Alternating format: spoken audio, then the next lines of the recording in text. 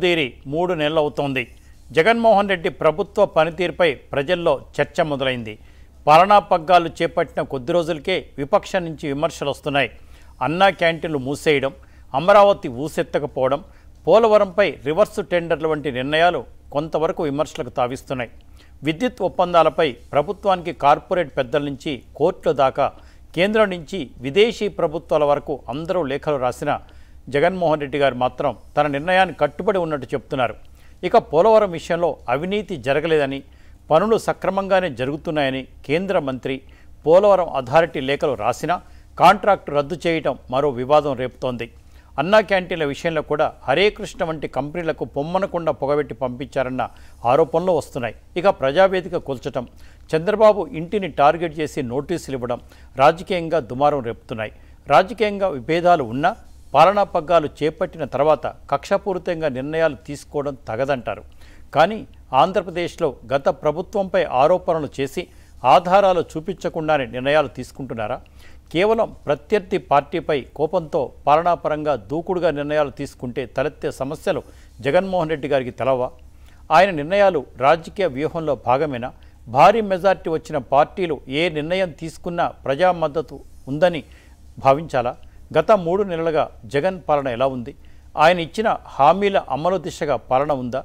అసలు చంద్రబాబు కూడా ఓటమికి కారణాలు అంతుచిక్కడం లేదని ఎందుకంటున్నారు? నిజంగానే ఓటర్లు కులం చూసి ఓటేశారా? అభివృద్ధి అంశం పట్టించుకోలేదా? ఇవే అంశాలపై టీడీపీ నాయకుడు అని మనం అనుకున్నా కానీ సబ్బం గారుతో లైవ్ షో చేద్దాం. సబ్బం గారు పూర్వ ఎంపీ పూర్వ విశాఖపట్నం మేయర్గా ప్రజలందరూ గుర్తిస్తారు. ఆయన తెలుగుదేశం పార్టీ తరఫున అనుకోకుండా భీముల నుంచి పోటీ చేసిన మహనీయులే కానీ ఆయన రాజకీయాలకు ఈ పోటీ రాజకీయాలకు దూరంగా ఉందని చాలాసార్లు మాట్లాడుకున్నారు.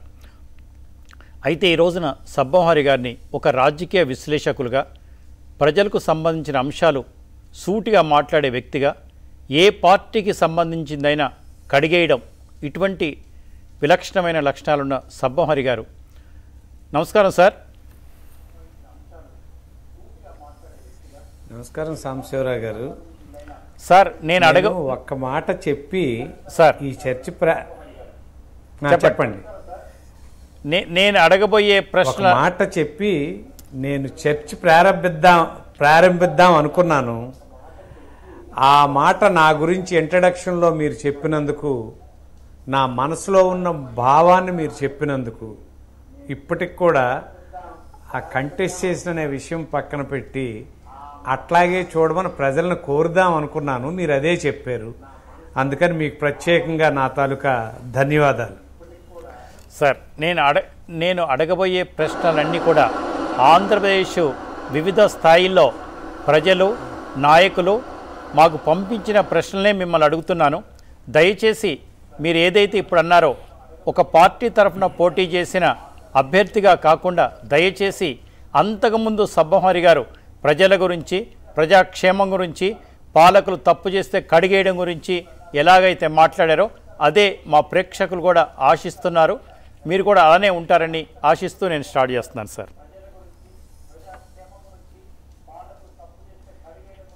అంటే మీరు నేను అనుకున్నట్టుగా ప్రజలందరూ యాక్సెప్ట్ చేయడానికి కొంత టైం పడుతుందని నేను అనుకుంటున్నాను. ఎంత కాదనుకున్నా నేను అలాగున్నా సరే కొంత అంటగట్టడానికి అలా ఆలోచించడానికి మనం కాదనలేము. అయినా మీరు ఎక్స్పెక్ట్ చేసినట్టుగానే నేను ఒరిజినల్గా నేను ఎలాగున్నాను అలాగే ఉంటాను. ఇది ఇందులో నాకు మార్పు రాదు.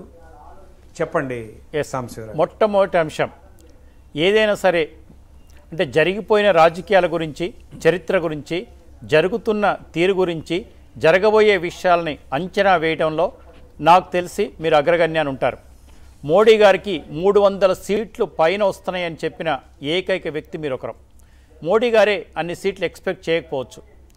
కర్ణాటకలో భారతీయ జనతా పార్టీ పూర్తి స్థాయిలో మెజార్టీ వస్తుందని చెప్పారు. అంతేకాకుండా ఇక్కడ అంటే ఒకే ఒక విషయం ఈ టీఆర్ఎస్ విషయం తప్ప మిగతా అన్నీ కూడా మీరు ఏం చెప్తే జరిగాయి. ఎన్నికలు జరిగిన తర్వాత కూడా వైసీపీ పూర్తి స్థాయిలో గెలిచే అవకాశాలున్నాయని అంచనా వేసిన అతి తక్కువ మందిలో కూడా మీరొకరు. అవన్నీ పక్కన పెట్టినట్టే. అవన్నీ నేను కాదంట. కానీ తెలుగుదేశం పార్టీ అధినాయకులు నలభై సంవత్సరాల సీనియర్ చంద్రబాబు నాయుడు గారు ఇప్పటికి కూడా నన్ను ఎందుకు ప్రజలు ఒడగొట్టారో నా పార్టీని ఎందుకు ఒడగొట్టారో నాకు అర్థం కావటం లేదన్నారు. ఈ ప్రశ్న చాలామంది మదిలో ఉంది కూడా. మరి మీరు ఏమనుకుంటున్నారు? ఆ- ఆ ఒక్కటి అయిపోతే పోలవరంకి వెళ్దాం. అసలు తెలుగుదేశం పార్టీ ఓటమి కారణాలు జగన్మోహన్ రెడ్డి గెలుపు కారణాలు ఏమై ఉంటాయి? ఓడి ఓటమి పాలైన తర్వాత దానికి ఎన్ని సాకులు చెప్పినా గెలిచిన వారు గెలిపించిన వారు ఈ ఓటం పాలైన వారు చెప్పినటువంటి విషయాల్ని యాక్సెప్ట్ చేయరు. నేను ఆ ప్లేస్లో ఉన్నా ఒప్పుకోను. గెలుపు ఓటమే ముఖ్యం. సో మొదట్లో ఎలక్షన్ అయిన కొన్నాళ్ళు ఈ ఈవీఎంల గురించి ఎలక్షన్ ముందు ఈవీఎంల గురించి దేశవ్యాప్తంగా కొంత చర్చ జరిగినా అది ఎందుకనో ఎలక్షన్ తర్వాత సైలెంట్ అయింది. భారతదేశంలో ఉన్న ప్రతిపక్షాలన్నీ కూడా సైలెంట్ అవడానికి కారణం ఏంటి అంటే ఇది రుజువు అంటే రుజువు చేయలేమనా ఆధారాలు లేవనా? ఆధారాలు లేవు కాబట్టి అది మాట్లాడకూడదనా? అనేవి విజ్ఞత కలిగినటువంటి వారందరూ ఆగిపోయారు.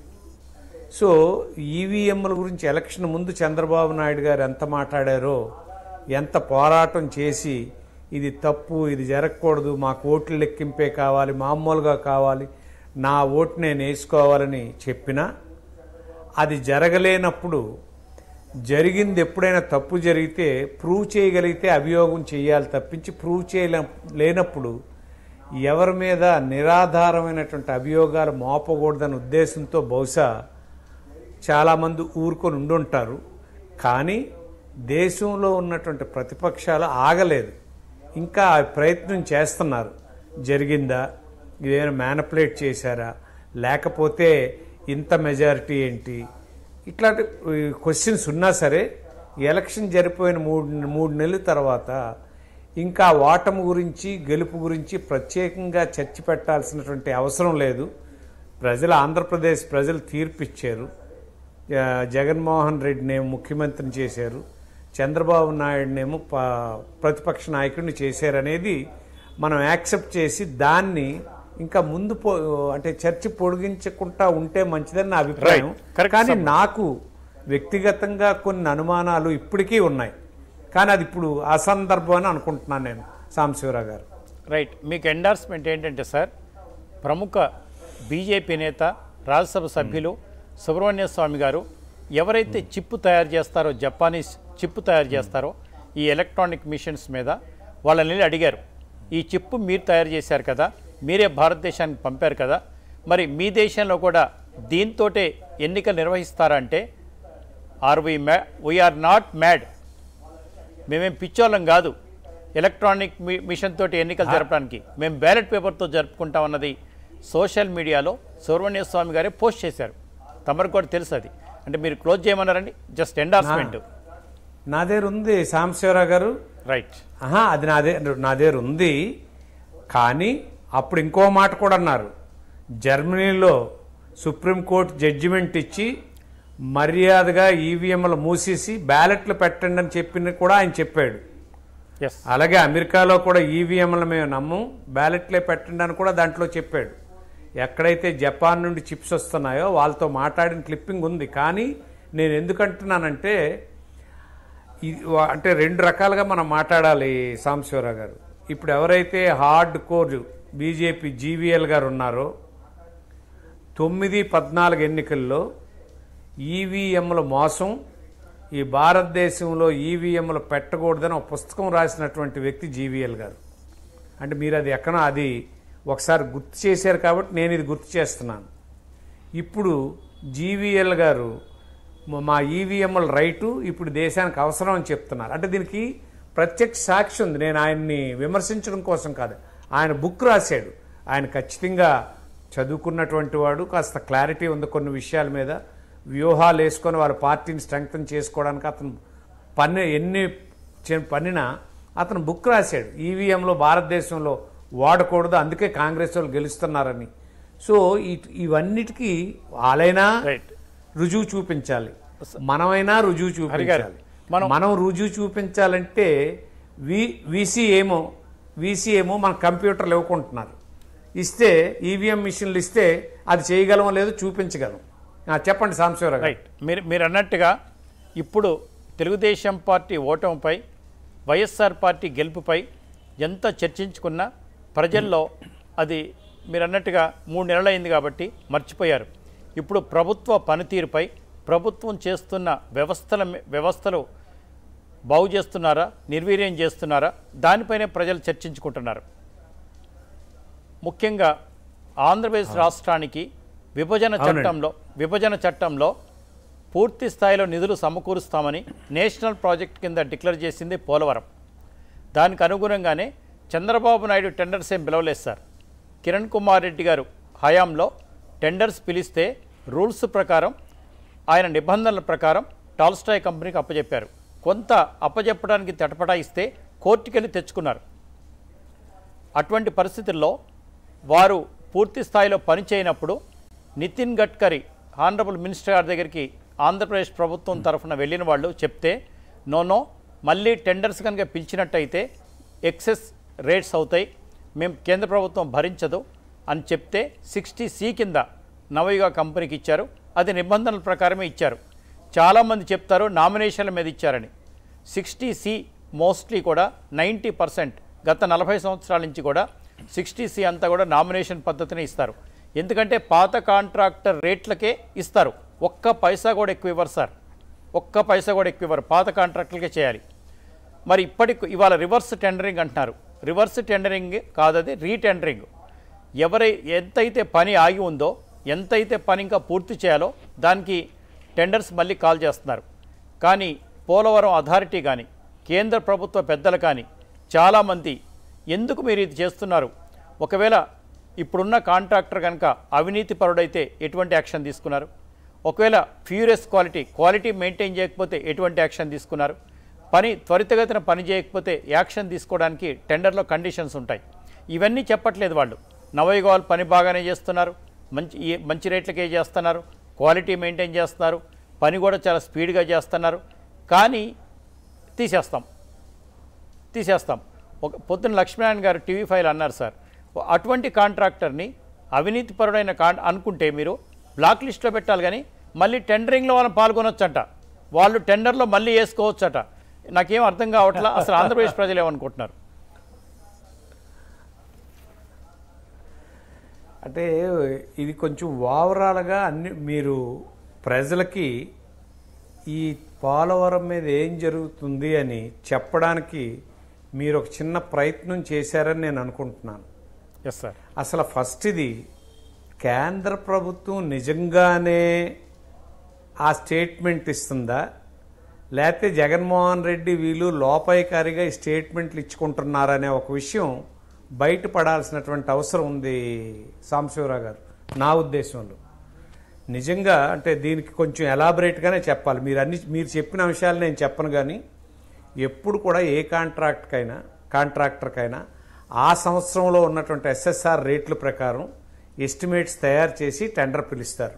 మీరు అన్నట్టుగా ట్రాన్స్ట్రా కంపెనీకి ఇచ్చారనుకోండి.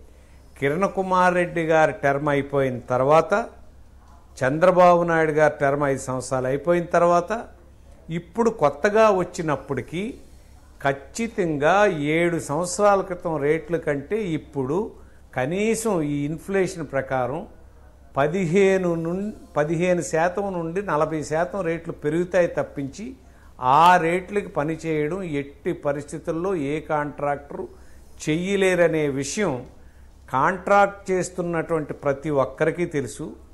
కాంట్రాక్ట్లు ఇస్తున్నటువంటి అన్ని ప్రభుత్వాలకి తెలుసు. ఇది జరగని పని.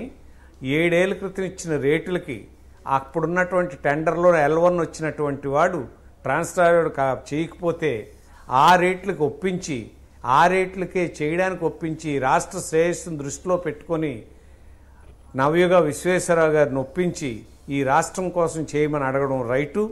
దాన్ని అతను యాక్సెప్ట్ చేయడం రైటు. కేంద్ర ప్రభుత్వం కూడా దాన్ని ఒప్పి ఒప్పుకొని ఎవరూ చేయరు. ఇప్పటికే రేట్లు పెరిగాయి.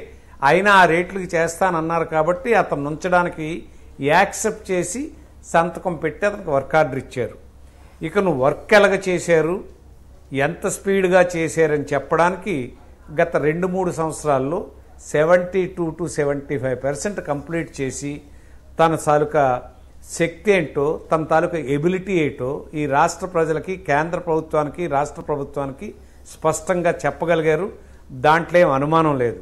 కానీ మీరు అన్నారు చూసారా ఎవరైతే క్యాన్సిల్ చేసి పిలుస్తున్నారో వాళ్ళే వర్క్ బాగా చేశారు క్వాలిటీగా చేశారు.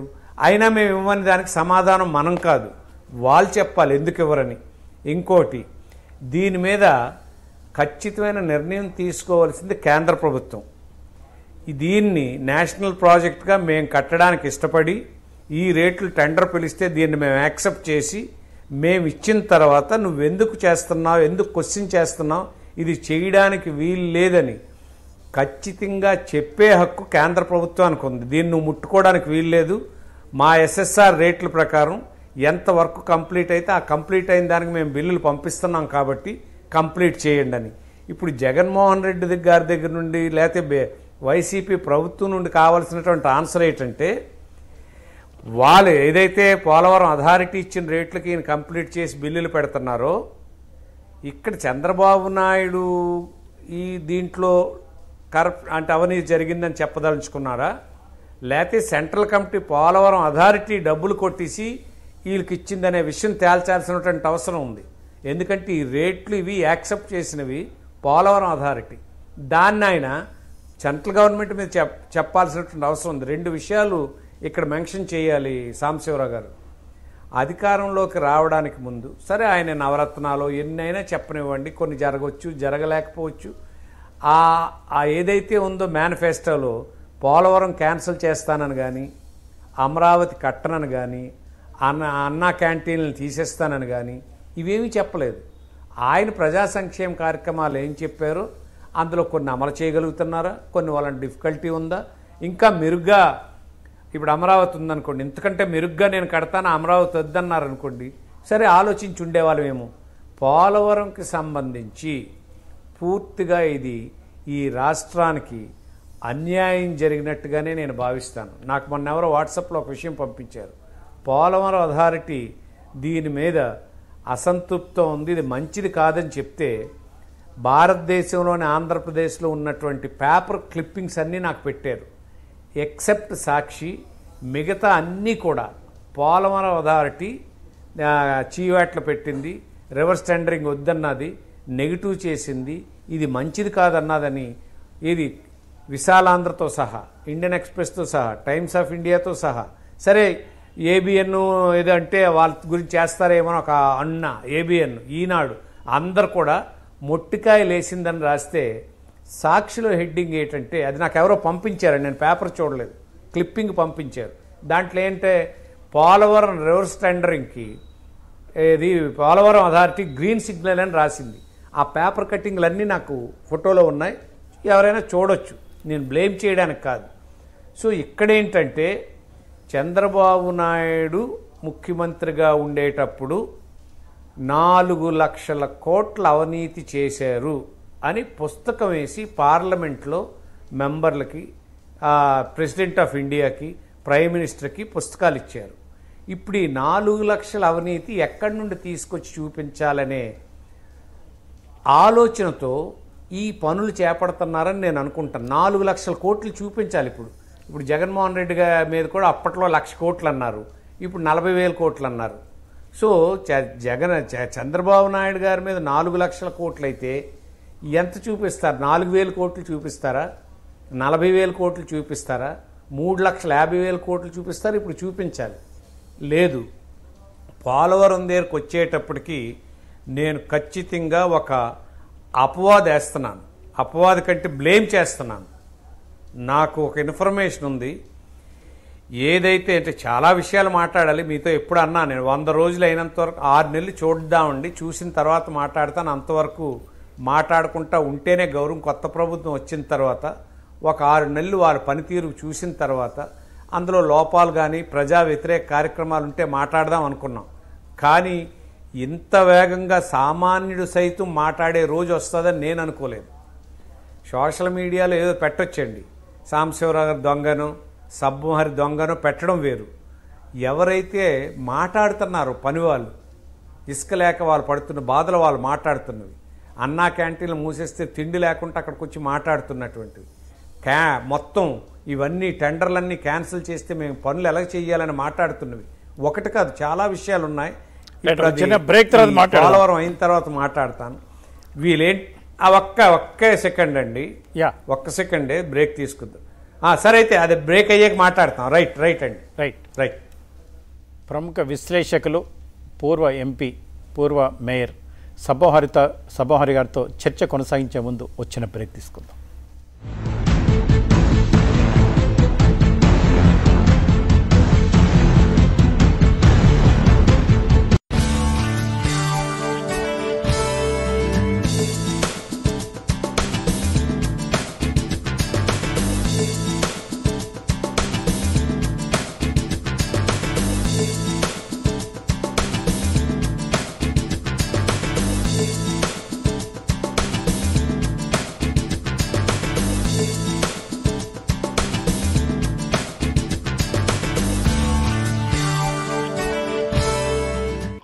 నీటి మా దగ్గర బాదం ఉంది కిస్మిస్ ఉంది కాజు ఉంది ఆక్రూట్ ఉంది నీ దగ్గర ఏముంది నా దగ్గర సెలో ఉంది.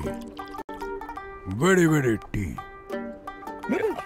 సెలో వాక్యూ స్టీల్ యొక్క థర్మోసిల్ టెక్నాలజీ ఉంచుతుంది. వేడిని వేడిగా ఇంకా చల్లని చల్లగా. ఇరవై నాలుగు గంటలు. సెలో వాక్యూ స్టీల్ ఫ్లాస్క్ కేవలం మైక్రోటెక్ స్టెబిలైజర్ తీసుకోండి. టెచ్ ఫ్లక్చుయేషన్స్ నుండి కాపాడుతుంది ఇంకా విద్యుత్తుని ఆదా చేస్తుంది.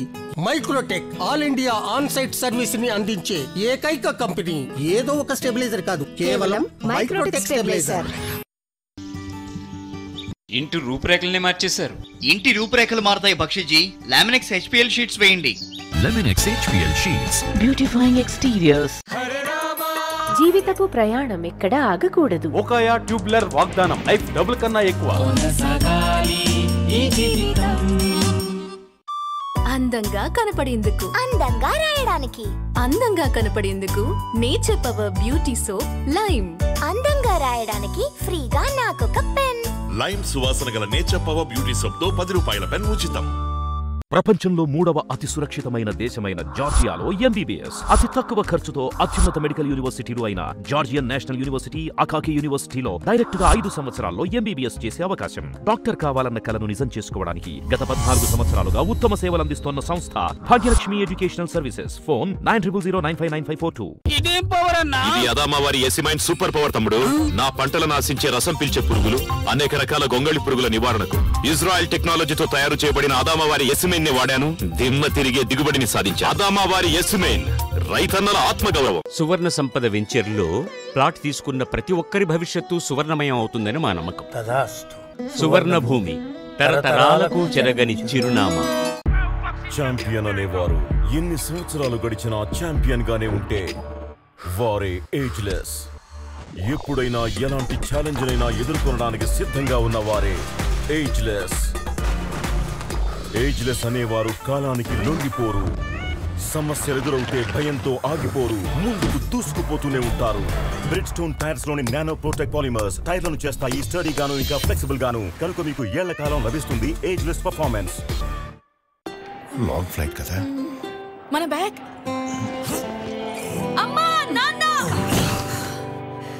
పెరుగుతున్న వయసుతో పాటు శక్తి తగ్గడం సహజమే. ఇంచేతనే ఎన్షోర్ దీనిలో ఉన్నాయి ప్రోటీన్ కాల్షియం ఇంకా విటమిన్ డి. ఇవి మీ ఎముకలకి మసిల్స్కి తమ శక్తిని తిరిగి తేవడంలో సహాయపడతాయి. ఎన్షోర్ లివ్ నాన్ స్టాప్ ఏపీలో వరద ముంపు బాధితులను ఆదుకునే చర్యల్లో పాల్గొనాలని టీడీపీ నేతలు కార్యకర్తలకు చంద్రబాబు ఆదేశించారు. పార్టీ శ్రేణులతో ఆయన వీడియో కాన్ఫరెన్స్ నిర్వహించారు. వరదను అడ్డం పెట్టుకుని ప్రభుత్వం కక్ష సాధింపులకు దిగుతోందని టీడీపీ శ్రేణులు అభిప్రాయపడ్డారు. తెలంగాణ సీఎం కేసీఆర్ యాదాద్రిలో పర్యటిస్తున్నారు. ఆలయ అభివృద్ధి పురోగతి పనులు కొండ చుట్టూ నిర్మిస్తున్న regional ring road presidential suite పనులు పరిశీలించారు. ఆ తర్వాత సుదర్శన మహాయాగం స్థలాన్ని వీక్షించారు కేసీఆర్. ఏపీలో జగన్ ప్రభుత్వం అన్ని రంగాల్లో విఫలమైందన్నారు కేంద్ర మాజీ మంత్రి సుజనా చౌదరి. ఏపీ ఆర్థిక వ్యవస్థను చిన్నాభిన్నం చేసేలా జగన్ సర్కార్ వ్యవహరిస్తోందన్నారు. ఇది యువత భవిష్యత్తుపై తీవ్ర ప్రభావం చూపుతోందన్నారు. తెలంగాణ ప్రభుత్వంపై తీవ్ర స్థాయిలో విరుచుకుపడ్డారు బీజేపీ రాష్ట్ర అధ్యక్షుడు లక్ష్మణ్. రాష్ట్రాన్ని సీఎం అవినీతిమయంగా మార్చారని రాబందుల్లా దోచుకుంటున్నారని విమర్శించారు. కొట్లాడి తెచ్చుకున్న తెలంగాణ కల్వకుంట్ల కుటుంబం పాలైందన్నారు లక్ష్మణ్.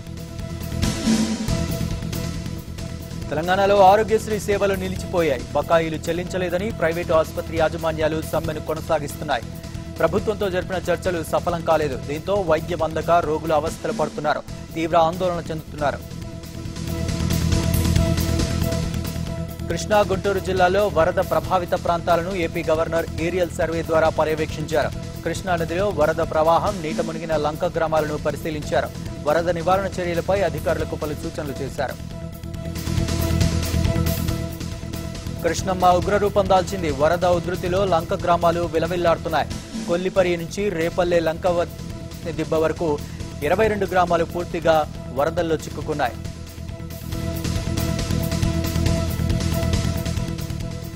హైదరాబాద్లో అంతరాష్ట్ర ముఠా గుట్టు రట్టు చేశారు పోలీసులు. మధ్యప్రదేశ్కు చెందిన ముగ్గురు సభ్యుల పార్దీ గ్యాంగ్ను అరెస్టు చేశారు. నిందితుల నుంచి అరవై తులాల బంగారం రెండు కేజీల సిల్వర్ ఓ కారు స్వాధీనం చేసుకున్నట్టు సిపి తెలిపారు.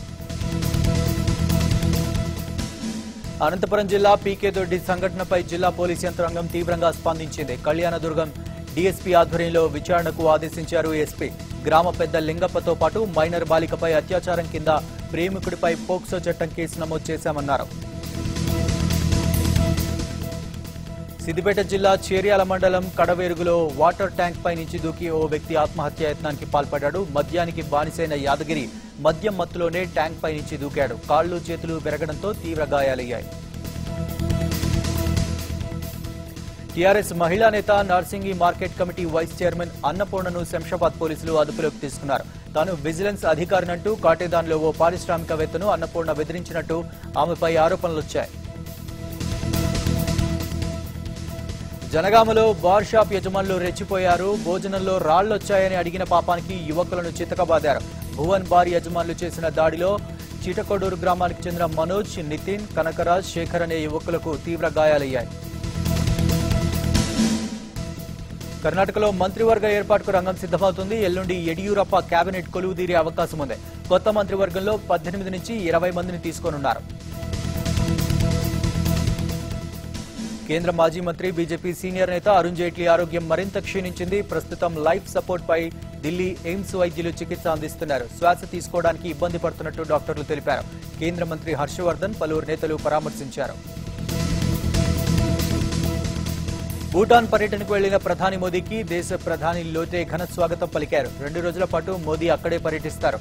పలు ద్వైపాక్షిక అంశాలపై రెండు దేశాలు కీలక నిర్ణయాలు తీసుకోనున్నాయి. ఏపీలో వరద ముంపు బాధితులను ఆదుకునే చర్యల్లో పాల్గొనాలని టీడీపీ నేతలు కార్యకర్తలకు చంద్రబాబు ఆదేశించారు. ఏమీ చేయలేమని అన్నారు. మరి అదే చంద్రబాబు నాయుడు కూడా అప్పుడు చెప్పారు. ఈరు అంటే చిన్న డీవియేట్ అవుతామండి ఇక్కడ కొన్ని విషయాలు మాట్లాడడానికి ఎందుకని పక్కన పెడతాను. ఈరోజు మీకు చెప్తున్నాను సాంబశివరావు గారు రేపు టెండర్ ఈవేళ పిలిచారు. ఈరోజు గుర్తుంచుకోండి ఈ టెండర్లో ఎవరైతే పోలవరం కట్టడానికి ఒక ఎక్స్ కంపెనీ వస్తుందో ఆ ఎక్స్ కంపెనీయే రేపు తెలంగాణ ముఖ్యమంత్రి ఈయన అనుకున్నటువంటి ప్రాజెక్ట్ కట్టడానికి ఆ ప్రాజెక్ట్ని అదే కంపెనీకి ఇవ్వబోతున్నారనే సమాచారం నా దగ్గర ఉంది. ఇప్పుడు ఇది బయటకు వచ్చిన తర్వాత మారుస్తారో లేదో తెలియదు కానీ ఈరోజు ఎలాగైనా సరే అమరావతిని ఒక ఐదు వందల కోట్లో వెయ్యి కోట్లకో తక్కువగా చేయడం కోసం ఒక ప్లాన్ చేసుకొని ఇదిగో ఐదు సంవత్సరాల క్రితం ఇచ్చినటువంటి రేటు కంటే ఇప్పుడు వచ్చినటువంటి కాంట్రాక్టర్ వెయ్యి కోట్లు తక్కువగా లేకపోతే పదిహేను వందల కోట్లు తక్కువగా లేకపోతే రెండు వేల కోట్లు తక్కువగా చేయడానికి సిద్ధంగా ఉన్నారు.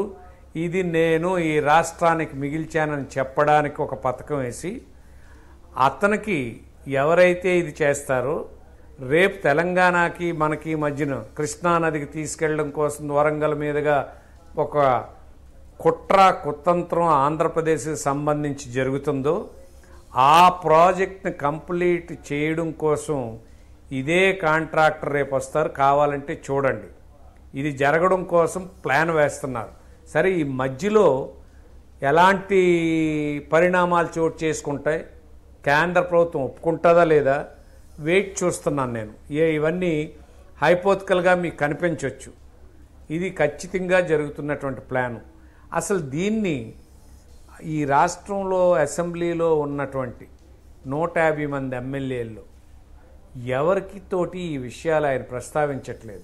సరే కొత్త వాళ్ళైతే వాళ్ళతో ప్రస్తావించకపోయినా అనేక మంది సీనియర్లు తన దగ్గర ఉన్నారు. మంత్రులుగా ఉన్నా లేకపోయినా. ఇరిగేషన్ మీద అవగాహన ఉన్నటువంటి వారు చాలామంది ఉన్నారు. బోస్ గారు కానీ ధర్మాన ప్రసాద్ గారు కానీ బొత్స సత్యనారాయణ గారు కానీ ఇలా పేర్లు చెప్పుకుంటూ వెళ్తే పార్థసారథి గారు కానీ మంత్రి కాకపోయినా అంబటి రాంబాబు గారు కానీ కరుణాకర్ రెడ్డి గారు కానీ మంత్రి కాకపోయినా వీళ్ళందరినీ ఇంకా నేను కొన్ని పేర్లు చెప్ప తప్పు చెప్పొచ్చు. వాళ్ళందరినీ కన్సిడర్ వాళ్ళతో డిస్కషన్ లేదు. ఏమనుకుంటే అది తెల్లవారేసరికి స్టేట్మెంట్ వచ్చేకే వీళ్ళకి తెలుస్తుంది తప్పించి వారితో మాట్లాడితే అసలు ఈ ప్రాజెక్ట్ ఏంటి? ఇక్కడ నుండి కృష్ణాకి తీసుకెళ్ళడానికి నాలుగు వందల యాభై కిలోమీటర్ల దూరం తీసుకెళ్ళడానికి చేస్తున్న ప్రాజెక్ట్ ఏంటి? ఎవ్వరు అడిగే పరిస్థితుల్లో లేరు. ఈయన చెప్పే పరిస్థితుల్లో లేరు. వాళ్ళని చెడ్డగా కాదు రాజకీయాల్లో ఏంటంటే ఇప్పుడు మోడీ ఉదయం మీటింగ్ పెట్టి ఒక డెసిషన్ తీసుకున్నాడు కాశ్మీర్ మీద. మేబీ అక్కడ మంత్రులకు తెలియపోవచ్చు. మంచిదైతే దేశం అంతా మోడీకి జేజేలు పలుకుతారు. దేశంలో ఉన్నట్టు ప్రజలందరూ డెబ్బై ఐదు శాతం మంది మగవాడు బ్రహ్మాండమైన నిర్ణయం తీసుకున్నారు అని అన్నారు. దీని తాలూకా రిప్రికేషన్స్ మరలా ఏమైనా ఉండొచ్చు. రానున్న రోజుల్లో పాకిస్తాన్ మనకి ఇబ్బందికర అది వేరే విషయం. ముందు ఆ నిర్ణయం తీసుకుంటే దేశ జనాభా అంతా ఎప్రిషియేట్ చేశారు. అట్లాగే ఇక్కడ కూడా నిర్ణయం తీసుకుంటే ఈ రాష్ట్రంలో ఉన్నటువంటి ఐదు కోట్ల మందిలో సరే తెలుగుదేశం పక్షాన మరీ హార్డ్ కోర్ టెర్రరిస్టులుగా కాకుండా జనరల్ జనం ఒక మూడు కోట్ల మంది అయినా శవాష్ జగన్ మంచి నిర్ణయం తీసుకున్నాడు అనేటట్టుగా జరగట్లేదు. ప్రతి దాన్ని సఫరర్సే బయటకు వస్తున్నారు తప్పించి ఈ విషయం బయటికి చెప్పట్లేదు సాంబశివరావు గారు. నేను- చాలా మంది ఆయనతో నేను- ఉన్నటువంటి కూడా గారు. బాధపడుతున్నటువంటి విషయం. చెప్పండి. సార్ తెలంగాణ ముఖ్యమంత్రి జరిగిపోయిందేదో జరిగిపోయింది. రాయలసీమను రతనాలసీమగా చేయాలన్నది నా ధ్యేయం. రాయలసీమకి నీరు అందించడానికి శ్రీశైలం నుంచి పోతిరెడ్డిపాడు ద్వారా శ్రీశైలం వాటర్ కనుక నాగార్జున సాగర్కి అవసరం లేకపోయినట్టయితే ఆ వాటర్ రాయలసీమ వాడుకోవచ్చు శ్రీశైలం నుంచి. అదే నాగార్జున సాగర్ ఆయకట్టుకి మనకి ఇక్కడి నుంచి పోలవరం నుంచి ప్రకాశం బ్యారేజ్ అక్కడి నుంచి పురిచింతల అక్కడి నుంచి నాగార్జున సాగర్ నీళ్ళు తీసుకెళ్ళినట్టయితే అవకాశం ఉంది. గోదావరిలో పూర్తి స్థాయిలో మూడు వేల టీఎంసీ సముద్రంలో కలుస్తున్నాయి కాబట్టి అని చెప్పేసి ప్లాన్ చేశారు. జరిగిపోయింది ఏదో జరిగిపోయింది. భావితరాలకు మళ్ళీ ఇబ్బంది లేకుండా చేసే అవకాశం ఉన్నప్పుడు మీరు ఎలా భావిస్తారు అట్లా? సాంబశివరావు గారు అసలు కేసీఆర్ని నమ్మిన వాళ్ళు ఇక్కడ ఎవరు లేరండి. ఏ పార్టీలో ఉన్న కూడా ఆంధ్రప్రదేశ్లో కేసీఆర్ ఏ మాట మాట్లాడినా నమ్మరు. అతను స్వార్థం అతను ఆంధ్రప్రదేశ్ ప్రజలకు అన్యాయం చేయడమే తప్పించి నమ్మరు మీరు ఇప్పుడు ఒక మాట అన్నారు కదా ప్రాజెక్టులన్నీ మాట్లాడను. నిన్న పోతిరెడ్డిపాడులో నీళ్ళు పట్టుకుపోతున్నారని ఎందుకంటే లెటర్ రాశాడు ఆయన? నిన్నే మొన్న. పోతిరెడ్డిపాడులో లెక్క లేకుండా నీరు తీసుకెళ్ళిపోతున్నారు లెక్క తేలట్లేదు. నిన్న రాశాడు. ఆయన్ని మమ్మల్ని నమ్మమంటారా? ఆయనేం నీళ్ళు తీసుకెళ్తాడంటే నమ్మమంటారా? ఆయనేం మన దగ్గర నుండి నీళ్ళు పట్టుకెళ్ళి నాగార్జున అతను తెలంగాణ భూ భూభాగం మేము తీసుకొని వెళ్ళి మా ఆంధ్రప్రదేశ్కి న్యాయం చేస్తారంటే నమ్మమంటారా? ఇప్పుడు జగన్మోహన్ రెడ్డి గారు ఈ విషయంలో మీ పర్టికులర్గా ఈ ప్రాజెక్ట్ విషయంలో నాకు అధికారం వచ్చింది నేను ఏదైనా చేయగలనంటే అన్నా క్యాంటీన్లు రద్దు చేస్తే చే- ఊరుకుంటారు ఎవరైనా. చాలా విషయాలు అతను నేను పెన్షన్లు ఇలాగే ఇస్తానంటే యాక్సెప్ట్ చేస్తారు. లేదు పది రూపాయలు కేజీ బియ్యానికి మూడు రూపాయల సంచితో బియ్యం ఇచ్చి ఐదు వేల రూపాయలు ఇచ్చి ఇంటికి పంపిస్తానన్నా సహించి ఊరుకుంటారు లేదు ఇప్పుడున్నటువంటి బ్రాందీ షాపులు వైన్ షాపులు తీసి నాకు ఇప్పటికీ ఇది ఉదయం ఎందుకో చూస్తే ఇది అప్రస్తుతమైన ఒక విషయం చెప్తున్నాను సాంబశివరావు గారు. వా అందరిలో మరలా నేనేమో షాపులు గవర్నమెంట్కి ఇస్తాను జీవో తయారైందని వచ్చింది. ఆ జీవో తయారైతే అందులో కొత్తగా ఎంప్లాయీస్ని పెట్టి దా సేల్స్ మ్యాన్గా పెడతానన్నారు. ఇక్కడ ఒక చిన్న విషయం ప్రజలకు చెప్పాలి మీకు చెప్పాలి. ఒక వైన్ షాప్ మీ కళ్ళ ముందు తీసుకోండి అందరూ. ఆ వైన్ షాపులో ఆరుగురు ఏడుగురు పనిచేస్తుంటారు ఇప్పుడు. కొలుస్తున్నాడు సీసాలు అందించినవాడు పొట్లాలు కట్టించినవాడు ఆ పక్కనే సోడాలు అమ్మినటువంటి వాడు ఇంకా అనాథరైజ్డ్గా వాళ్ళకేమో రెండు ఏదో కొలిసి వేస్తున్నటువంటి వారు. వాళ్ళందరూ ఆంధ్రప్రదేశ్లో గడవక ఉద్యోగాలు చేస్తున్నటువంటి వారే వాళ్ళందరూ ఒక వైన్ షాప్లో పది మంది పనిచేస్తున్నటువంటి వైన్ షాపుల్ని ప్రభుత్వ పరంగా చేసి నేను నలుగురిని పెట్టి అమ్మిస్తానంటే అభ్యంతరం లేదు. కానీ అట్ ద సేమ్ టైం ఆంధ్రప్రదేశ్లో బ్రతుకుతున్నటువంటి ఇన్ని షాపుల్లో ఉన్నటువంటి ఇన్ని ఆరుగురు అంటే మూడు వేల షాపులో నాలుగు వేల షాపులో డెబ్బై షాపులో ఇంటూ ఏడుగురు అన్ఎంప్లాయ్ అవుతున్నారండి. వీళ్ళు తెలుగువారి బిడ్డలే. చెన్నారెడ్డి గారు నేను కాలేజీలో ఉన్నప్పుడు ఆ ఇన్సిడెంట్ నాకు ఇప్పటికీ గుర్తే. ఆంధ్ర యూనివర్సిటీలో నెంబర్ టెన్ బస్సు యాక్సిడెంట్ అయ్యి యూనివర్సిటీ స్టూడెంట్లు ఇద్దరు చనిపోయారు. మా ఒక అబ్బాయి అమ్మాయిని. ఆ నెక్స్ట్ డే ఆయన ఆర్టీసీ చేశాడండి. మొత్తం ప్రైవేట్ బస్సులన్నీ తీసి ఆర్టీసీ ఆంధ్రప్రదేశ్కి ఆ రోజు చేశాడు if I'm right seventy one seventy three మధ్యది. ఆ రోజు ఆయన చేసిన పని ఏంటి తెలుసండి? ఆ రోజు ప్రైవేట్ బస్సుల్లో పనిచేస్తున్నటువంటి డ్రైవర్లని క్లీనర్లని అందరినీ తీసుకొని ఆర్టీసీ బస్సుల్లో డ్రైవర్గా క్లీనర్గా అపాయింట్మెంట్ ఇచ్చి ఆ బస్సు ఓనర్లందరికీ కాంపన్సేషన్ ఇచ్చి ఇక్కడ పెట్టారు. మీరు ఏదైనా నిర్ణయం తీసుకునేటప్పుడు చాలా ఆలోచించి చేయాల్సినటువంటి అవసరం ఉంది. ఒక కాంపిటెంట్ అథారిటీగా. ఇప్పుడు వాలంటీర్లు పెడతానన్నారు గ్రామ వాలంటీర్లు. అందులో ఎవరు ఉద్యోగాలు పో కొత్తగా ఉద్యోగాలు ఇస్తున్నాం ఐదు వేలకు పనిచేయడానికి కూడా వాళ్ళు వస్తున్నారు వాళ్ళ పని లేటు విధి విధానాలేటు ఈ వ్యవస్థలో అది అవసరమా లేదనేది అది వచ్చిన తర్వాత తేలుతుంది. దాని గురించి ఇప్పుడు మాట్లాడవసరం లేదు. కానీ ఇప్పుడు మీరు చేస్తున్న ఈ వ్యవస్థలో దా ఈ వ్యవస్థలో ఈ ఆంధ్రప్రదేశ్లోనే గత ఇరవై ఐదేళ్ళుగా పనిచేస్తున్నటువంటి వివిధ అంటే ఏజుల్లో ఉన్నటువంటి వాళ్ళు ఒక ఇరవై ఏళ్ళు ఉండొచ్చు వాడు ఇరవై ఐదేళ్ళు ఉండొచ్చు వాడు ముప్పై వేలు ముప్పై ఏళ్ళు ఉండొచ్చు నలభై ఐదేళ్ళు ఉండొచ్చు వాళ్ళందరూ నీ గవర్నమెంట్ ఆక్షన్లో పాడుకొని పాట పొందినటువంటి వారి షాపుల్లోనే ఇన్ని వేల మంది. పనిచేస్తున్నారు. ఆ విషయాన్ని పరిగణలోకి తీసుకోవాల్సినటువంటి అవసరం ఉంది. రైట్ చెప్పండి సాంబశివరావు ఎస్ మీరు లేవనెత్తిన అంశం చాలా ముఖ్యమైనది సార్. ఇప్పుడు చాలామంది చెప్తా ఉన్నారు ఒక అడుగు ముందుకేసి కొంతమంది ఏం చెప్తున్నారంటే కేవలం వైసీపీ కార్యకర్తలకు అంతమంది ఆఫీసర్ లేరు అంతమంది ఉద్యోగాలు ఇచ్చే పరిస్థితి లేదు. ఇప్పుడు ఎక్సైజ్ డిపార్ట్మెంట్ కాల్ చేసే ప్ర- ప్రసక్తి కూడా లేదు. టెంపరీగా కొంతమందికి ఎంప్లాయ్మెంట్ ఇస్తారు. అది ఎవరికి ఇస్తారన్నది అది ఇచ్చిన తర్వాతే మనం మాట్లాడుకుందాం సార్. కాబట్టి అప్రహెన్షన్తో మాట్లాడటం కరెక్ట్ కాదు ప్రభుత్వం మీద. ఇచ్చుకొని కానీ- కానీ ఇక్కడ చేస్తున్నటువంటి వాళ్ళు పోతున్నారండి. యా. ఇక్కడ చేస్తున్నటువంటి వాళ్ళు పోతున్నారు. ఇంకోటి మీరు కే నేను. నేను కేసీఆర్ గారి గురించి అడుగుదాం అనుకున్నాను. మీకు మీరు చెప్పేశారు సార్. దట్స్ రైట్ ప్రజలకు వెళ్ళిపోయింది అది. మూడో విషయం ఈ రోజున రాష్ట్రం ఎదుర్కొంటున్న ముఖ్య సమస్య వరద సమస్య. రాష్ట్రంలో పూర్తి స్థాయిలో వర్షాలు ఎక్కడా పడలేదు ఉప్పెన ఎక్కడా రాలేదు తుఫాన్ ఎక్కడా రాలేదు. ఎగువ రాష్ట్రాల్లో పడిన వర్షాలకి పూర్తి స్థాయిలో అన్ని జలాశయాలు కూడా నిండినాయి. ఆ నిండు అందరికి కూడా మంచిదే రైతులు ఆనందంగా ఉన్నారు. కానీ కొంతమంది లోతట్టు ప్రాంతాల వాళ్ళు ముప్పునకు గురై చాలా ఇబ్బంది పడుతున్నారు. ఇదొకటి ఈ ఆస్పెక్ట్ ఒకటి. కానీ రాజకీయాలు చూస్తున్నట్టయితే అక్రమ కట్టడం పేరిట ఒకటి కూలగొట్టేశారు ప్రజావేదిక. రైట్ చంద్రబాబు నాయుడు గారి నివాసం ఉంటుంది అక్రమ కట్టడం అన్నారు. దాంతోపాటు ఇంకొక యాభై అక్రమ కట్టడాలు ఉన్నాయని చెప్పి నిన్న లిస్టుతో సహా ఎవరో ఇంకా ఒక ఒక బిల్డింగ్లో వంద మంది ఉన్నారు. మా Ramesh bureau chief Andhra Pradesh bureau chief Ramesh స్పష్టంగా చెప్పారు సార్. ఇది మేము ఒక్కలమే ప్రసారం చేశామని కొన్ని రాజకీయ పార్టీలు చాలా ఇబ్బందికరమైన వాతావరణం రే టీవీ ఫైవ్ వాళ్ళు ఇంత కరెక్ట్గా చెప్తున్నారు ఏం వాళ్ళకి ఏం అవసరం ఇవన్నీ అని మాకు అవసరం సార్. ఉన్నది ఉన్నట్టుగా చెప్పడమే టీవీ ఫైవ్ పని. ఇదొకటి. అయితే ఇందుట్లో అక్రమ కట్టడాలంటే నేను మీ దృష్టి తీసుకొస్తాను. మీరేమనుకోవద్దు. మీరు పూర్వాశ్రమంలో కాంగ్రెస్లో ఉన్నారు. వైఎస్ రాజశేఖర రెడ్డి గారు ఇడుపులపాయలో నాకు తెలియకుండా డెబ్బై ఎకరాలు అసైన్మెంట్ భూమి నా భూమిలో కలిసిపోయింది అని చెప్పి ఒక అరవై డెబ్బై సంవత్సరాల తర్వాత తిరిగి ఇచ్చేశారు. ఎస్. ప్రభుత్వానికి ఇచ్చానన్న చాలా మంచి పని చేశారు సార్. అంటే అప్పటి వరకు తెలియకపోవడం కరెక్టే సార్. తెలిసిన తర్వాత ఇచ్చారు. అసెంబ్లీలో. మాట్లాడారు. ఎస్. తర్వాత హైదరాబాద్లో ఉన్న ఇల్లు నాది అక్రమ కట్టడం అంటే అది రె రెగ్యులరేషన్ చేయండి నేను అప్పులు తీర్చుకుంటానని చెప్తే చంద్రబాబు నాయుడు గారు రిజెక్ట్ చేశారు దాన్ని. తర్వాత షబ్బీర్ అలీ గారు అనుకుంటా సబ్జెక్టు కరెక్షన్ అప్రూవల్ చేశారు.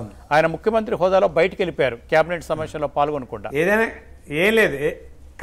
కాంగ్రెస్ ప్రభుత్వం రెగ్యులరైజ్ చేసింది రెగ్యులరైజ్. చేశారు. ఎస్ చంద్రబాబు నాయుడు అక్రమ కట్టడంలో ఉన్నట్టయితే అక్రమ కట్టడాలను ప్రోత్సహించినట్టయితే ఎవరు ఊరుకోవద్దు కూలగొట్టేయాలి సార్. కానీ ఇది ఒక మనిషికో ఒక పార్టీకో పరిమితం చేయకూడదు. అన్ని అక్రమ కడ్డాలు తీసేయాలి. అక్కడ గోకరాజు రంగరాజు గారు ఏమన్నారంటే కృష్ణానది నేను ఆక్రమించలేదు కృష్ణానదే నా పొలాన్ని ఆక్రమించిందని ఆయన చెప్పుకొచ్చారు. ఆయన మీద ఎవరు మాట్లాడలేదు ఎందుకంటే భారతీయ జనతా పార్టీ నాయకుల మీద వైసీపీ నాయకులు మాట్లాడే పరిస్థితి ఇప్పుడు లేదు సార్. ఆ ఒకవేళ అలా మాట్లాడితే ఏం జరుగుద్దో వాళ్ళకి తెలుసు కాబట్టి దాని మీద ఏం మాట్లాడట్లేదు. అవి కూడా మాట్లాడమంటున్నాం. వరదలను పట్టించుకోమంటున్నాం. చంద్రబాబు నాయుడు పారిపోయాడు అంటున్నారు. జగన్మోహన్ రెడ్డి పారిపోయాడు అని చెప్పేసి కన్నా లక్ష్మణ్ గారు లాంటి పెద్దలు అంటా ఉన్నారు. అంటే రాష్ట్రంలో ఇది జరుగుతుంటే. మరి రామ్ మాధవ్ గారు ఆంధ్రప్రదేశ్ ప్రజలు పెనమ్మెంచి పొయ్యిలో పడ్డాయి అన్నారు. అసలు ఏంటి ఆంధ్రప్రదేశ్లో లేటెస్ట్ వరద వరదలు మనకు తెలియంది కాదు. రోషయ్య గారు ఉన్నప్పుడైతే ఇంతకన్నా ఎక్కువ వరదలు వచ్చాయి సార్. కానీ ఎక్కడ ఇంత సమస్యలు రాలేదు. అంటే ఆ సాంబశివరావు గారు మీకు చరిత్ర అంతా తెలుసు. రోసయ్య గారి కంటే కూడా వెంగళరావు గారు మండల వెంకటకృష్ణారావు గారు ఉంటప్పుడు దివిసీమ. ఉప్పునితో పోలిస్తే దా ఆ దాని తర్వాత వైజాగ్ కుదిరితే మళ్ళీ నెక్స్ట్. మధ్యలో అంత పెద్ద వరదలు రాలేదు. దివిసీమ ఉప్పునైతే శవాలు ఇసుకల మీద ఇలా తేలే. సరే అందుకని ఇప్పుడున్నటువంటి పరిస్థితుల్లో పోలవరంలో కాఫర్ డ్యామ్ కేవలం గత ఐదు నెలలుగా ఈ పోలవరం పని ఆపడం వలన ఈ రాష్ట్రానికి ఈ దరిద్రం పట్టుకుందండి. లేకపోతే గోదావరి ప్రాంతంలో ఉన్నటువంటి ఆ ముంపు గ్రామాలకి ఎఫెక్ట్ కాదు. ఆ ఐదు నెలలు అంటే బీజేపీ అప్పుడు ఫండ్స్ రిలీజ్ చేసి ఉంటే వాళ్ళతో వర్క్ చేసి ఉంటే మిగతాది కంప్లీట్ చేసి ఉంటే ఈరోజు వరద పరిస్థితి ఇంకోలాగా ఉండేది. తెలిసుండి కూడా రాజకీయ లబ్ధి కోసం మాట్లాడుతున్నటువంటి వారి గురించి నేనేం మాట్లాడను కానీ మీరు మీరు లేవనెత్తిన అంశం ఏంటంటే ప్రజావేదిక కూలగొట్టిన తర్వాత ప్రభుత్వం ఆయన దగ్గర ఉంది. వారి ఇంటెలిజెన్స్ ఉంది. అతని చుట్టూ మిగతా ఎవరో నాకు తెలియదు కానీ నాకు తెలిసిన అంటే సుబ్బారెడ్డి గారా లేకపోతే రామకృష్ణారెడ్డి గారా వాళ్ళ గురించి మాట్లాడడం నాకు నాకు తెలుసు కానీ ఒక్క అజీ కల్లం గారు నాకు మిగతా వాళ్ళకి నచ్చినా నచ్చకపోయినా నాకు అతనితో పరిచయం ఉంది. సహృదయుడు మృదిభాషి ఏదైనా తప్పు జరిగితే చెప్పగలవాడు. చెప్పగలిగి ఇది తప్పు ఇది రైట్ అని చెప్పగలిగే జ్ఞానవంతుడని నాకు అతని మీద అభిప్రాయం. నాకు కేవలం మీరు ఆలోచించండి ప్రజావేదిక కూలగొట్టడం. ఎవరైనా హర్షించారేమో అతను ఇంటెలిజెన్స్ రిపోర్ట్ తెప్పించుకోమనండి. ఖచ్చితంగా ఎవరు హర్షించలేదు. అది జగన్మోహన్ రెడ్డి ప్రభుత్వ కార్యక్రమానికి వాడుకుంటే ఎవరు ఏమనేవారు కాదు. తొమ్మిది కోట్లని ఆయన అన్నారు ఆరు కోట్లు అన్నారు. ఎందుకు ప్రొక్లైనర్ కొట్టి పీకేరో తెలియదు సామాన్లు పట్టుకెళ్ళకుండా. నా ఫోన్లో మూడు రోజుల క్రితం ఒక ఫోటో మీకు చూపిస్తానండి తర ఇప్పుడే. అంటే ఈ ప్రభుత్వం తాలూకా నేచర్ ఎలాగుందని చెప్పడానికి అది బెస్ట్ ఎగ్జాంపుల్ మీకు ఇప్పుడు చెప్పబోతున్నది. మన ఇంటి ముందు మనం ఒక రూమ్ కానీ షెడ్ కానీ కొట్టేస్తే ఆ మొత్తం డెబ్రిస్ అంతా తీసుకొని వెళ్ళి క్లీన్ చేసుకుంటాం. క్లీన్ చేసి మళ్ళీ అక్కడ ఏదైనా కట్టుకోవాలంటే చేసుకుంటాం. ప్రజావేదిక కూల్చిన తాలూకా సామాన్లు చంద్రబాబు నాయుడు ఇంటి పక్కనే కుప్ప పోసి ఉంచారండి అలాగా. మీకు అది తెలుసో తెలియదో ఇది ఆంధ్రప్రదేశ్ ప్రజలకి ఇది ఒక న్యూస్. రాక్షస మనస్తత్వం. ఇదిగో పగలగొట్టాము ఇక్కడే ఉంది రోజు నువ్వు కారు మీద వెళ్తేప్పుడు చూస్తుండు అని. ఇది మనస్తత్వానికి పరాకాష్ట అండి ఎవరు చేసినా. పగలగొట్టారు అవి అక్కడ ఉంచారు. మీరు కావాలంటే ఇప్పుడు వెళ్ళి చూడండి. లేదా నాదే రెండు ఫోటో మీకు పంపిస్తాను. టూ డేస్ బ్యాక్ వచ్చింది ఆ ఫోటో నాకు. అక్కడుండి తీసి పంపించాడు ఒక ఆయన నాకు. ఎవరైనా డెబ్రిస్ తీసుకెళ్ళరండి? చేసాక రైట్. ఆ రోజు నేను ఏమనుకున్నానంటే రైట్ జగన్మోహన్ రెడ్డి చేసింది రైటే. ఏదైతే ఉందో కరకట్ట మీద ఉన్నవన్నీ కూల్చేస్తాను అన్నాడు. దానికి ముందు ప్రభుత్వాన్నే ఎంచుకున్నాడు. వెరీ గుడ్ అనుకున్నాను. ఆ రోజు నుండి ఈ రోజుకి ఇంకొక బిల్డింగ్ ఏదైనా కొట్టుండుంటే ప్రభుత్వాన్ని శంకించి ఉండేవాళ్ళం కాదండి. ప్రభుత్వ విధానాన్ని శంకించి ఉండేవాడిని కాదు నేను. ప్రజలు కూడా ప్రభుత్వ విధానాన్ని శంకించి ఉండేవారు కాదు. అది కొట్టిన తర్వాత ఈ రోజు వరకు ఇంకోటి ముట్టుకోలేదు. మరలా ఇప్పుడు కొత్తగా ఈ ఎవరైతే నివాసం ఉంటున్నారో ఆ ఇల్లు నేను చూశానండి. కిందన హాలు సెక్యూరిటీ ఆఫీసు పైన టూ బెడ్రూమ్ హౌస్ అంతే అది. పైన ఈయన వేసుకున్నాడో లేదో నాకు తెలియదు ఈయన వేసుకుందో ఆయన వేసుకుందో? హెలీప్యాడ్ వేరేగా ఆ పక్కనే ఉంది. చూశాను నేను కావాలని. తెలుసుకుందామని. కొట్టిశారనుకోండి కరకట్ట మీద ఉన్నవన్నీ కొట్టుకొని రమ్మనండి అట్నుండి. ఒకటో రెండో మూడో కొట్టి అప్పుడు చంద్రబాబు నాయుడు కూడా కొట్టిమనండి. అప్పుడు జగన్మోహన్ రెడ్డిని కానీ ఈ ప్రభుత్వానికి ఎవరో అనుమానించరు. కానీ ఇప్పుడు చేస్తున్నారు చూసారా? ఈ పనులు. ఇందులోకి వచ్చేస్తుంది దానికి ముందు రోజే చంద్రబాబు నాయుడు చెయ్యి చెయ్యి ఫ్రాక్చర్ అయ్యి ఏదో మీటింగ్లో నేను చూశాను. మేబీ దాని గురించి హైదరాబాద్ ఎల్లుండొచ్చు. అట్లాగే జగన్మోహన్ రెడ్డిది ఈ అమెరికా ట్రిప్పు ఇంతకు ముందే ఫిక్స్ అయింది. ఎందుకంటే నాకు అమెరికా నుండి కూడా ఫ్రెండ్స్ చెప్పారు ఇలా వస్తున్నారు మేము అన్ని అరేంజ్మెంట్స్ చేస్తున్నామని. సో చంద్ర జగన్మోహన్ రెడ్డిది ఈ ఫ్లడ్స్కి ముందే అతని ప్రోగ్రామ్ ఫిక్స్ అయింది. అందుకని అంత సీరియస్గా లేదు కదా వెళ్ళి రావచ్చని. అంటే పారిపోయాడు ఇక్కడ వరదలుంటే ఇతనికి వెళ్ళిపోయాడు ఇతను వరదలుంటే హైదరాబాద్ పారిపోయాడు. ఇవన్నీ చవకబారు రాజకీయ మాటలుగానే నేను చూస్తాను. జగన్మోహన్ రెడ్డిది కూడా అమెరికా ఎప్పుడూ ఫిక్స్ అయింది. ఒక వారం రోజుల క్రితం ఆవిడ జెరూసలేం వెళ్ళినప్పుడే ఇది ఫిక్స్ అయింది. మోడీ రేపు వెళ్ళబోతున్నారు అక్కడికి. వాళ్ళు కూడా చెప్పారు మోడీ వస్తున్నారండి అమెరికా దానికి ముందు మాకు జగన్మోహన్ రెడ్డి గారు వస్తున్నారండి రైట్? సో ఇది నిజంగా ఉధృతమైనటువంటి వస్తే మనకైతే లేవు. ఇతర రాష్ట్రాల్లో ఉధృతమైనటువంటి వరదలు వచ్చి ఆ నీరు మనకు వస్తుందనే మన విషయం మనకు తెలుసు. ఇక్కడ అంత ప్రమాదకరమైన పరిస్థితుల్లోనైతే లేవు. ఎక్కడైతే కాఫరడం గోదావరి పక్కన ఉన్నటువంటి ముంపు గ్రామాలు ఉన్నాయో వాళ్ళు మాత్రం ఇబ్బంది పడ్డారు. మిగతా వాళ్ళు జరగలేదు. కాబట్టి ఆ వెళ్ళడం అనేది రాజకీయంగా మా ఇచ్చిన స్టేట్మెంట్లే తప్పించి దాని గురించి ఎక్కువగా మాట్లాడాల్సిన అవసరం లేదని నేను అనుకుంటున్నాను. రెండోది ఇంటికి సంబంధించి రాజకీయంగా మాట్లాడుతుంటే చంద్రబాబు నాయుడు హోమ్ మినిస్టర్ చేయాలా? ఇదంత ఇష్యూ చేయాలా? ఎవడైనా వెళ్ళి డ్రోన్లు పంపించుకోవచ్చు. ఎంత చీప్గా ఉన్నాయండి ఆ మాటలు? చాలా సింపుల్గా నిజంగా ఆయన మీద ఈ ప్రభుత్వానికి అంత ప్రేమ ఉందనుకోండి. వైసీ వైఎస్ఆర్ ప్రభుత్వానికి ప్రతిపక్ష నాయకుడు రెండుసార్లు ఎనిమిది సంవత్సరాలు ముఖ్యమంత్రి చేశాడు. నలభై ఏళ్ళు రాజకీయాలు ఉన్నారు. మనం ఇతను ప్రొటెక్ట్ చేసుకోవాలి. వరదలుగా ఏదైనా మన ప్రభుత్వానికి చెడ్డ పేరు వస్తుందంటే ఒక్క ఫోన్ కాల్ చాలండి. చంద్రబాబు నాయుడు గారు వరద ముంపు వస్తుంది. మేము ఇలా డ్రోన్లు పంపిస్తున్నాం. ఒకసారి చెక్ చేసి వస్తారు అని అన్నారనుకోండి దీన్ని ఎవరైనా కామెంట్ చేయగలరా సాంబశివరావు గారు? ఇది ఇష్యూ అవుతుందా? ఎవడో పంపించాడని జెడ్ కేటగిరీలో ఉన్నటువంటి సీఎం మాజీ సీఎం ఇంట్లోకి ఇద్దరు బండి మీద వెళ్ళి డ్రోన్లు వదిలేస్తే ఏటు కొంపలు మునిగిపోయావా? ఆయన కోసమే మేము చూస్తున్నాం. పోలీసులు వచ్చి అడుగుతారా? పోలీసులు తెలియదు. అంటే ఇది కేవలం కక్షతో ఏదో ఒకటి మాట్లాడాలని కానీ సింపుల్. మీరు కానీ నేను కానీ ఒక ఫోన్ కాల్ చేసుకుంటే చాలు.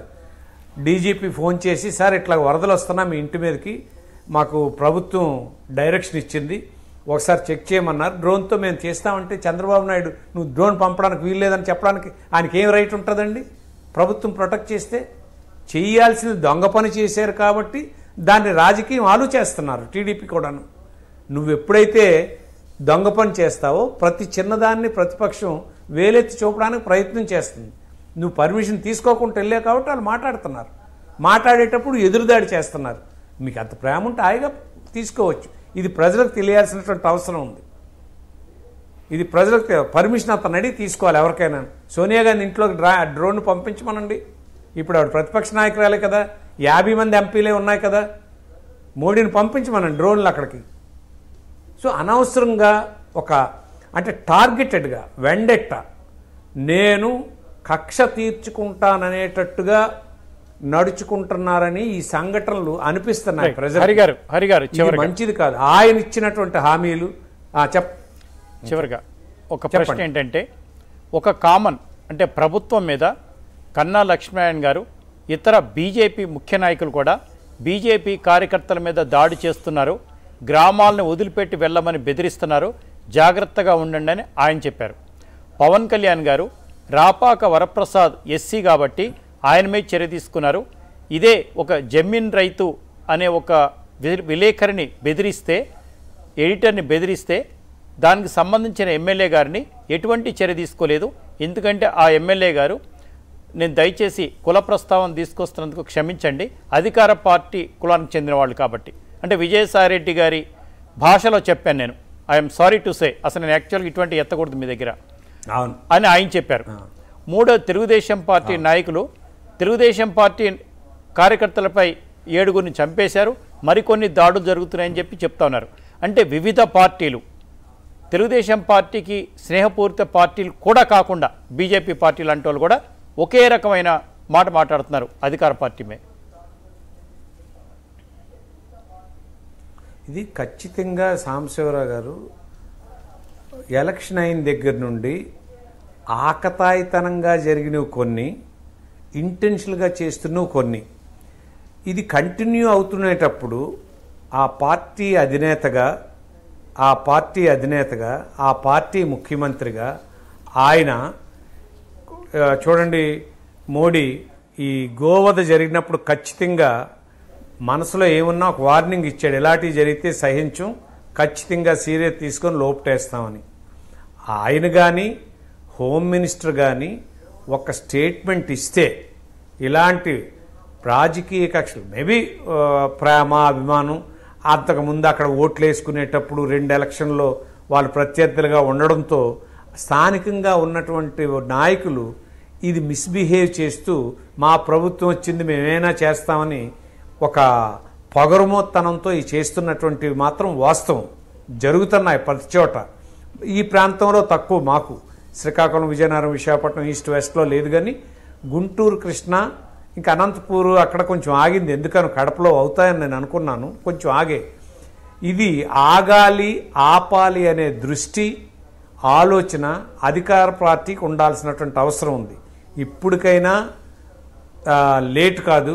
దయచేసి ఆ ప్రభుత్వం ఒక స్టేట్మెంట్ ఇచ్చి మా వాళ్ళు కానీ మీ వాళ్ళు కానీ ఇలాంటివి కానీ ఉంటే ఖచ్చితంగా చర్యలు చేపడతాను. ఎవరు మాట్లాడడానికి వీల్లేదంటే ఇవి ఆగుతాయి తప్పించి మీరు ఆ స్టేట్మెంట్ ఇవ్వనంత వరకు మీ ప్రభుత్వం మీరు దాన్ని సపోర్ట్ చేస్తున్నారనే భావన ప్రజల్లోకి వస్తుంది. ఇది కొన్ని రోజుల తర్వాత హద్దు మీరిన తర్వాత వీళ్ళు కూడా తిరుగుబాటు చేసిన తర్వాత అప్పుడు ఇప్పుడు పర్వాలే కొత్తలో ప్రభుత్వం వచ్చింది పోలీస్ యంత్రాంగం అయింది మొన్న ఎక్కడో నేను చిన్న క్లిప్పింగ్ చూశాను మీ దీంట్లోనే అనుకుంటాను.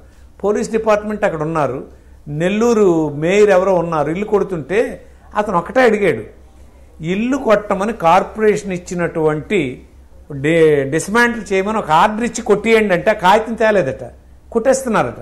ఆ పోలీస్ చెప్తున్నాడు ఆఫీసరు ఐపీ ఆ పోలీస్ ఆఫీసరు వీళ్ళు కొట్టడానికి వచ్చారండి వీళ్ళకి నేను సపోర్ట్ ఇస్తామంటారు వీళ్ళంటారు కొట్టడానికి మాకు అభ్యంతరం లేదు కొట్టమనండి. ఆ రసీదు చూ మాకు నోటీస్ ఇమ్మనండి ఇదిగో మీ ఇల్లు కొడుతున్నాం. నోటీస్ లేకుండా వాళ్ళు కొడితే మీరు వాళ్ళు అడ్డాలంటే లేదండి మేము వాళ్ళు కొట్టడానికి వచ్చారు వాళ్ళు సపోర్ట్ ఇస్తాను. ఆయనకి ఏమైనా జ్ఞానం ఉందా? అతను ఎలాగ ఐపీఎస్ ఆఫీసర్ అయ్యాడో తెలియదు. ఇలాంటివి కోకొల్లలు జరుగుతున్నాయి. ప్రతి చోట ఇలాంటి ఇన్సిడెంట్లు జరుగుతున్నాయి. అయితే మీరన్నట్టుగా ఇప్పుడు బీజేపీ వాళ్ళు కూడా దేనికండి? ఎలాగైతే దేశాన్ని ఆక్రమించుకున్నారో అన్ని రాష్ట్రాల్లాగే మీకు అనేక సందర్భాల్లో చెప్పాను. ఈ రాష్ట్రం తెలంగాణలో కూడా బీజేపీ అధికారం సంపాదించడం కోసం భాగంగా వీటిని ప్రారంభించారని నేను అనుకుంటున్నాను. తెలంగాణలో అయితే ఆల్మోస్ట్ కొంచెం లే గట్టిగానే కాంగ్రెస్ ఎప్పుడైతే తగ్గిందో బీజేపీకి కొంచెం వీలుగానే వెళ్తుంది. ఇక్కడ ఇంకా చాలా టైం ఉంది. హలో? Sir sir. ఇంకోటి ఏంటంటే ఇంపార్టెంట్ ఈ జమిల్ ఎలక్షన్స్ మోడీ ఖచ్చితంగా ఈ ఈ ప్రభుత్వం మనం మూడు మూడు నెలల్లో మూడు సంవత్సరాల్లో ఖచ్చితంగా ఎలక్షన్స్ చూస్తాం. ఆ దిశగా పర్ఫెక్ట్గా అతను వర్క్ చేస్తున్నాడు. రైట్ రామాలయం కూడా కడతాడు. ఈ మధ్యనే కడతాడు. ఎలక్షన్లు వచ్చేటప్పటికి భారతదేశంలో మరలా బీజేపీనే ఓటేసే పరిస్థితి తీసుకొచ్చేటప్పటికి వీళ్ళందరూ జమిల్ ఎలక్షన్స్ యాక్సెప్ట్ చేశారు. రైట్ సార్ సబ్బారి గారు. కేసీఆర్ కానీ జగన్మోహన్ రెడ్డి కానీ మిగతా అందరూ కూడా జమిల్ ఎలక్షన్ ఖచ్చితంగా యాక్సెప్ట్ చేశారు. కాకపోతే ఈ పాలన ఇంకో మూడు సంవత్సరాలు మనం చూడాల్సి వస్తుందని నేను అనుకుంటున్నాను. సార్ యాక్చువల్గా నేను అడిగి నేను మాట్లాడాల్సింది చాలా ఉన్నాయి. ముఖ్యంగా ఏదైతే గత ప్రభుత్వంపై చంద్రబాబు నాయుడు తీరుపై మరి అవినీతి ఆరోపణలు చేశారు మరి రెండు నెలలైనా ప్రజల ముందు ఏది పెట్టలేకపోయారు. పోలవరం వేల కోట్ల కుంభకోణం అన్నారు. తీరా చూస్తే అది ఇప్పటివరకు తొమ్మిది వేలు మాత్రమే కాంట్రాక్టర్లు పే చేశారు. ఇంకా రెండు వేలు సెంట్రల్ గవర్నమెంట్ నుంచి రావాలి. వేల కోట్లు ఎక్కడ కనపడ్డాయో నాకు తెలవలేదు. అగ్రిగోల్డ్ మీద అయితే లక్షల కోట్లు అన్నారు. అది ఎక్కడో మాకు తెలియలేదు. రాజధాని మీద లక్షల కోట్లు అన్నారు. మరి రెండు నెలలైనా మేమంతా కూడా ఎదురు చూసాం సార్. ఒకవేళ వైట్ పేపర్ ఏమైనా రిలీజ్ చేస్తారేమో పత్రికాముఖంగా తెలియజేస్తారేమో కరప్షన్ ఎట్లా చేశారో తెలియజెప్తారు. ఇంతవరకు ఆ మార్గాన్ని పోలేదు. అవి కూడా మిమ్మల్ని అడుగుదాం అనుకున్నాను. ఇంకా దేశ రాజకీయాల గురించి భారతీయ జనతా పార్టీ గురించి త్రీ సెవెంటీ గురించి థర్టీ ఫైవ్ ఏ గురించి ఇవన్నీ కూడా ఈరోజు డిస్కస్ చేద్దాం అనుకున్నాను సార్. బట్ మీరు ఒక విషయాన్ని పూర్తి స్థాయిలో సమాచారం అందించే అలవాటు ఉంది కాబట్టి నాకు టైం కూడా సరిపోలేదు. మళ్ళీ తప్పకుండా ఒక్క వారం లోపల ప్రతి శనివారం కూడా వచ్చే అంటే ఇట్లా ప్రముఖులతో అనుకుంటున్నాం సార్. ఇది ఏదైతే మిగిలిపోయిందో వరదలు వరదలు ఒకటి మనం ప్రసారం చేయాలి మనం తెలవందేం కాదు. మనం మళ్ళీ నెక్స్ట్ వీక్ ఒకసారి తప్పకుండా కూర్చుందాం సార్. మరింత టైం చేసుకుందాం. మరిన్ని సమాచారం మీ మీ ద్వారా ప్రజలకు తెలియజెప్దాం. Thank you sir. చర్చలో పాల్గొన్నందుకు.